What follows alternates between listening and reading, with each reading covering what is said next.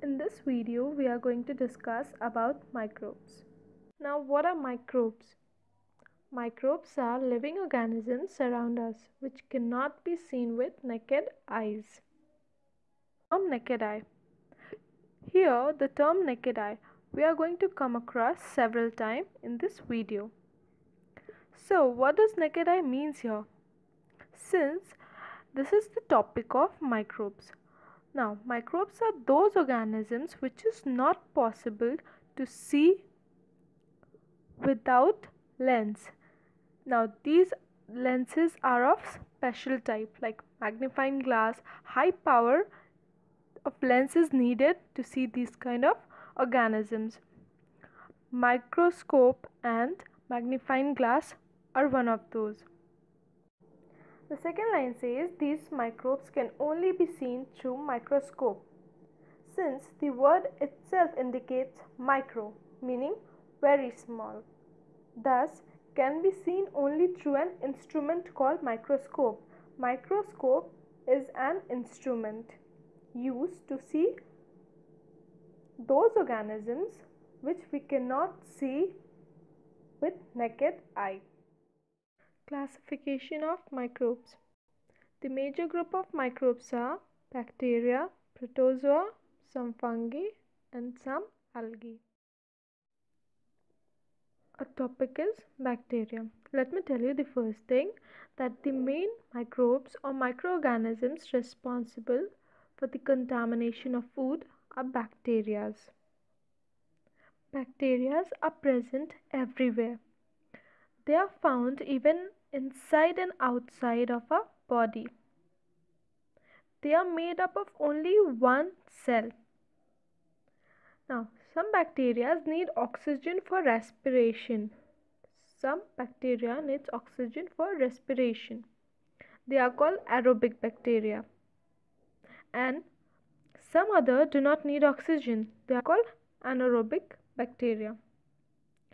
On the basis of their shape and size, they are categorized into different types, such as rod-shaped, known as bacillus, spherical-shaped, known as cocci, spiral-shaped, known as spirilla, and comma-shaped, known as vibrio. Now, bacteria multiply rapidly by the process of fission. Protozoa. Like bacteria, they are the most single cell or unicellular organisms. Amoeba, Paramecium and Euglena are few examples of protozoans. Euglena shows the feature of both plant and animals. Like bacteria, they also multiply by the process of fission. So what happens that mostly single cell or unicellular organisms are here. Means either it is going to be single cell organism or unicellular more than one cell. But this now like I said that Euglena shows the feature of both plant and animals. Euglena is having both the feature. It's neither plant nor animal. It's it's in neither plant category nor in animal but in both since it shows both the feature. Fungi is a special group. Earlier it was called non-green plants. But this group has some specific characters different from both plant and animals. Yeast, molds and mushrooms are examples of fungi. All fungi are not microscopic. Bread, molds, aspergillus, neurospora and penicillium are some microfungi. Now, a fungus is one of a wide range of living organisms. Some of them are also beneficial to health. But why this is not characterized as a plant and animal? Okay. This is because it is mode of heterotrophic nutrition. It does not make their own food. It takes the help of other sources like plant is capable green plant is capable of making their own food by the help of sunlight air water but what does fungi do? What does fungus do? They make their food by dead or algae. Now algae are very tiny plants. You are going to mostly find it in water because it's live in water. They are the simplest plants and possesses chlorophyll. You can uh, commonly you can find algae anywhere like uh, sometimes you can find in old walls some green on a layer of greenish small small leaves you're going to see.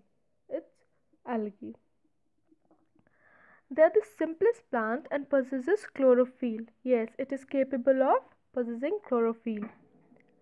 Some algae are microscopic whereas other can be seen through naked eye as beforehand I told in fungus that some of them were microscopic whereas some of them you can see naked eye. Yes in algae also you are going to find the same thing.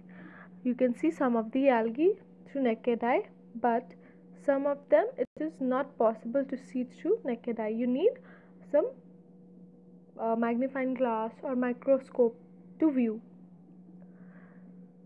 Similarly, some algae are unicellular, such as chlorella and chlamydomonas, whereas some are multicellular, such as Spirogyra.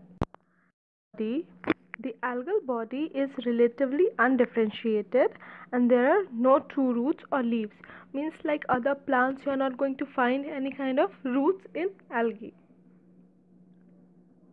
One definition is that Algae have chlorophyll as their primary photosynthetic pigment and lack a sterile covering of cells around their reproductive cells.